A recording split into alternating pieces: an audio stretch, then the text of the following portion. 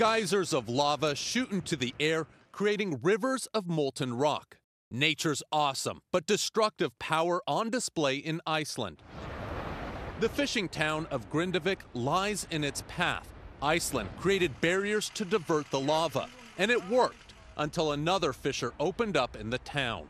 Already, uh, several houses have gone under lava, so it's a very serious situation.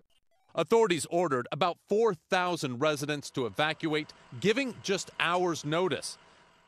Now, they don't know if they'll have a home to return to. This is big. This is serious. It's basically as bad as can possibly get. The volcano blew on Sunday for the second time in a month. No one has been killed in the eruptions, but a worker is missing after falling into a crack opened by the volcano. Scientists say the eruption is dying down, but it's too soon to declare the danger over. Ian Lee, CBS News.